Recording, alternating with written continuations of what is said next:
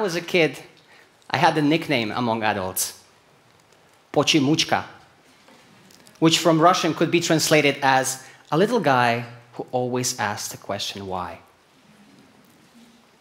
Based on that, you can guess I had a hard time understanding why the world worked the way it did around me. But one thing became clear very quickly. If you do what others perceive as great and of value, for example, getting good grades, getting into a good university, or working in a bank, well, then the life might not seem that hard after all. I followed this logic for about 28 years until I asked my favorite question, but this time to myself Why? Well, you see, everyone would like to get a really good job, really good car, and really good apartment. That was my consciousness trying to calm me down by default. But then why didn't any of these things make me feel any happier? I realized it only when I met my childhood friends for a little reunion. While they were happy about the same job, the same hobbies, the same street they live on, I, on the other hand, couldn't stop complaining. Well, apparently there was way too little snow in Swiss Alps in that season for me to go skiing whenever I wanted. Or I was falling behind my master plan of visiting 100 countries before I turned 30. And the more problems I was sharing, the wider the eyes of my friends were opening. And looking at them, I realized how ridiculous my complaints sound. And there, in that moment, it made me feel very much ashamed in front of my friends. And, and more to that, it made me feel very angry. Very angry at no one but at myself because the mountains were great and all the countries as I have visited are more than I could wish for. It's just that I did not see it this way. So on the way home, I had only one question on my mind. If I have been so goal oriented and so ambitious throughout my life so far, then why on earth I have never set myself a goal for what truly matters for me in the end my happiness? So, to stop complaining and to find more happiness in my daily life, I've decided to throw myself a challenge by asking one simple question Can I be happy for 100 days in a row? No matter how small the moment would be, be it a, a coffee with a friend or a feeling of home after a long day work, I would need to find at least one moment. Capture it on a picture and share it online with the hashtag 100 happy days just to make sure I stick through the challenge. Well, rules are clear, but with the first day came the first trouble. It's not difficult to imagine that in my daily rush, in my daily routine, I completely forgot that on that day, that was the day to start focusing on something positive. No reason to give up, I said to myself in the evening, what about making or creating a happy moment by doing something that I love? And what about making my girlfriend laugh? And you know what? It worked. And it worked so well that the further I went with the challenge, the more moments I had captured during that day. Now I had a different, yet a positive problem.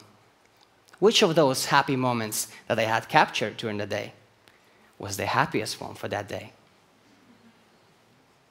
In the meanwhile, my friends started noticing this mysterious hashtag 100 happy days popping up here and there on their news feeds every single day. So they started asking questions about it, and I told them, I'm on a search for personal happiness, and, and this is the way I do it. So when they asked if they, if they could join the challenge, I, of course, didn't have any problems with that.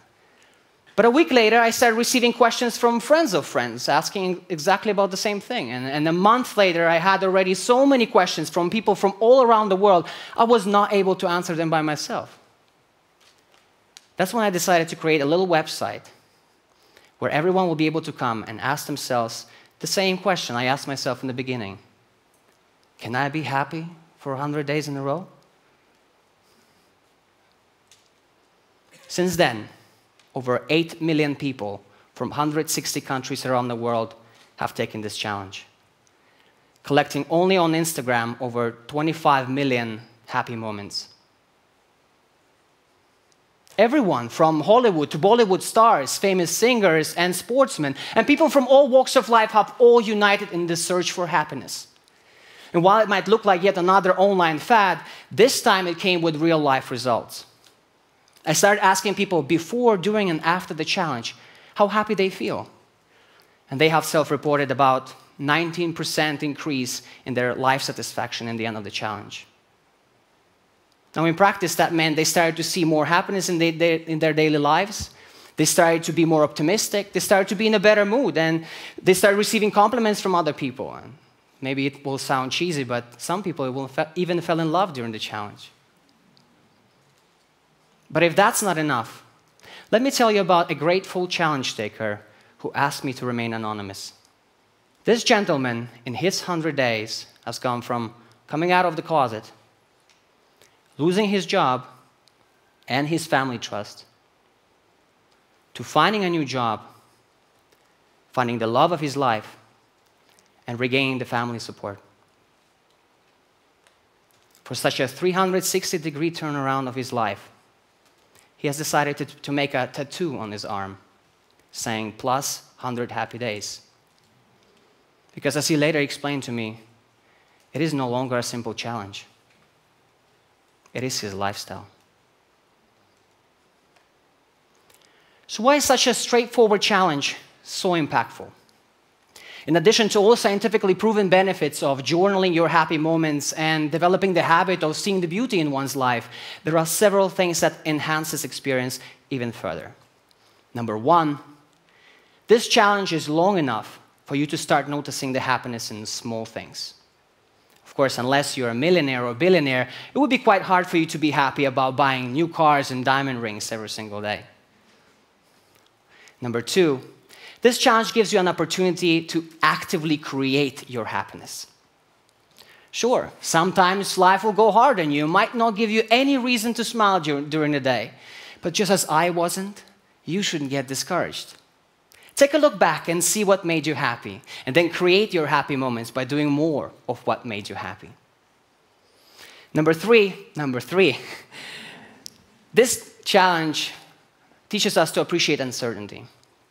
Imagine this perfect morning. You just woke up, you open the bedroom window, you see the rising sun shining into your eyes, and gentle wind is caressing your hair, and even birds are singing good morning to you. And all these things suddenly start coming together in this magical moment where you feel so happy and so fulfilled that your soul wants to sing. Now, there is no way you can know if there's going to be anything else during that day that's going to make you feel more happy and more fulfilled than you're feeling right now. So, what's the most rational thing to do? It is to capture and to enjoy this moment to the fullest, right? Number four, this challenge gives other people an opportunity to be part of your happiness. As one wise man said, happiness is only real when shared. So, people who take this challenge, they get used to this kind of situations after any get together. When people ask them if they would like to take a selfie together, because it's kind of a happy moment over here, and aren't you collecting those happy moments? And just thinking and talking about this puts a smile on my face. You know why? It is because I realize that every single person in this entire world wants to make a positive impact on someone else's life. So if we give this opportunity to someone to, to create and be part of our happiness, both of us are going to be feeling happier, right? Number five, finally, this challenge gives you an opportunity to feel how a happy and fulfilling life feels like. And once you have this feeling, you really don't want to go back. So you turn happiness into your lifestyle. Despite all these benefits of taking 100 Happy Days challenge, about 70% of people do not complete it, saying they don't have time. Well, an old me might have understood that. But a new me hears that people don't have a single moment a day when they would focus only on what truly matters in the very end their happiness. But forget about them. What about you? Now that you have heard how this challenge has transformed lives of millions of people all across the world, it's about time you ask yourself the same question.